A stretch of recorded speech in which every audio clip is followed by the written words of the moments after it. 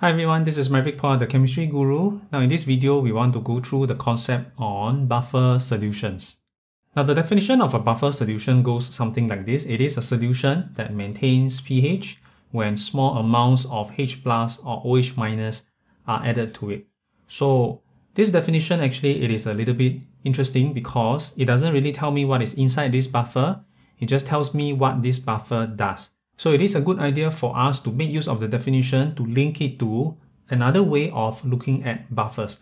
Now, if I see that a buffer is a solution that maintains pH when a small amount of H plus is added to it, what this means is inside this buffer, I must have a base that can remove the H plus. So I know that if this is a buffer solution, inside this buffer solution, there must be a base present and the purpose or function of this base is to remove the H plus. So therefore it can maintain pH when H plus is added. Now similarly, if this buffer solution can maintain pH when small amounts of OH minus is added to it. So what this means is inside this buffer solution there must be an acid present and the function or the purpose of this acid is to remove OH minus. So I have an acid inside this buffer. The job for this guy is to remove OH minus. So now we know why a buffer can maintain pH because if you add H+, plus, there's a base inside this buffer that will remove the H+, plus, and when you add OH-, minus, then there is an acid that will remove OH-. minus. Now the next thing is, if I have an acid and I have a base inside the same solution, wouldn't they try to kill each other? They should try to react away each other, right? So it's because for a buffer solution, it is a special mixture of acid and base. Now this mixture of acid and base is called a conjugate acid-base pair. So let me write this down here. Essentially, I would think that this is a better definition for us to remember what buffer is. A buffer, it is a mixture of an acid and a base, but more importantly, it is a mixture of a conjugate acid-base pair. So what this would mean is the two components inside this buffer solution, they are related to each other and the only difference between this acid and base will be a H+.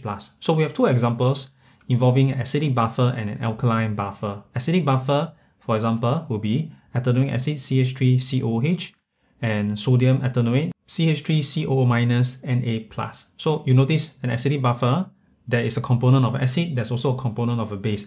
The acid in this case obviously will be the ethanoic acid and the conjugate base in this case will be a CH3COO-. So you notice the conjugate acid base pair is here. This is the acid and this is the base.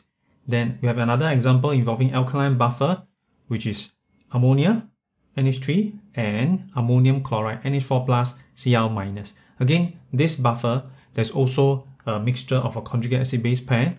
The acid in this case will be NH4 plus and the base in this case will be ammonia. So again, we have this mixture of a conjugate acid-base pair, so it can function as a buffer solution. Now let's look at both buffers in detail. An acidic buffer is defined as a mixture involving a weak acid and a salt of conjugate base. But my preference is we don't focus so much on the word salt. The conjugate base is more important because as mentioned previously, a buffer is a mixture of a conjugate acid base pair. So we just need to keep in mind who is the acid and who is the conjugate base. So we know that CH3COOH is the acid. So I can write this here. The acid will be CH3COOH. The purpose of the acid is to remove OH minus. So this CH3COOH will remove OH minus. While the CH3COO minus is the base, CH3COO minus is base. The job of this guy is to remove H plus. So this guy's job is to remove H+. So you notice if I can interpret a buffer solution in this way, a buffer is just a mixture of a conjugate acid-base pair. And if you're given this mixture, who is the acid? CH3COOH. And who is the base?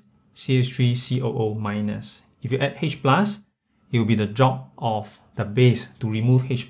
So if I'm adding H+, the H plus will be removed by the base. In this case, it will be CH3COO minus. So therefore, I can write out an acid-base reaction to show the removal of the H plus. So it will look something like this, CH3COO minus and H plus. Now I want to write this as a full arrow.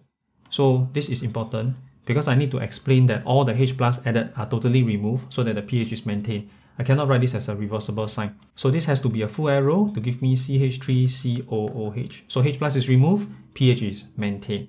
Similarly, if I add OH minus, adding OH minus, the acid will settle the OH minus. So it will be the drop of CH3COOH, which is the acid in this case. It removes OH minus. I can write out a neutralization reaction between the acid and OH minus. Again, full arrow because all the OH minus are removed to give me back the conjugate base and water. So I can show that the OH minus is removed and therefore pH is also maintained.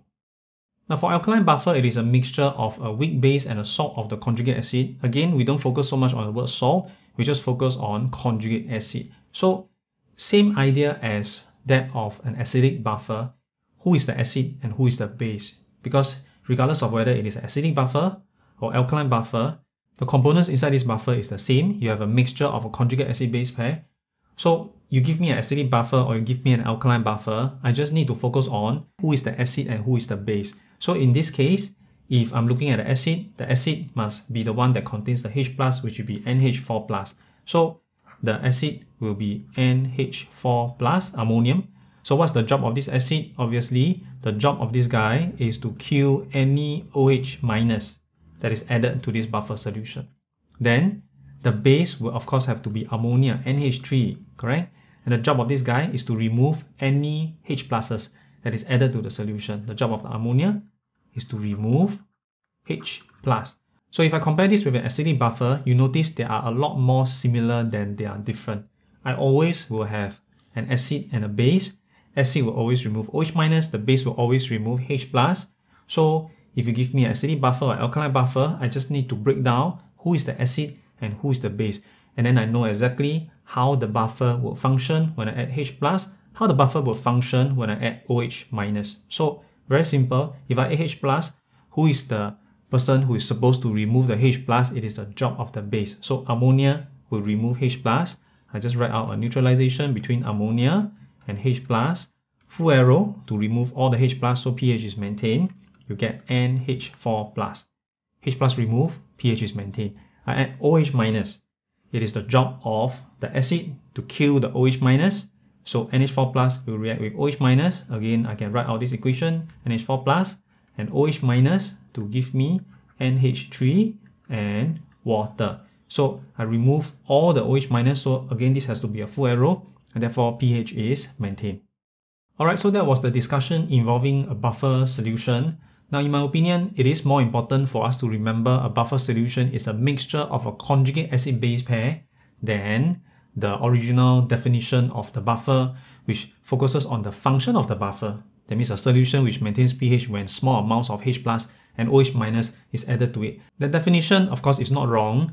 It's just that it tells me more about how the buffer works, but it doesn't tell me what is inside this buffer. So remembering that a buffer is a mixture of a conjugate acid-base pair, it will be useful for buffer solutions and it will also be helpful for some components in ionic equilibrium. So if you learned something useful from this video, please give me the thumbs up and subscribe to my YouTube channel for more weekly video lessons. That's all for now. Thanks for watching.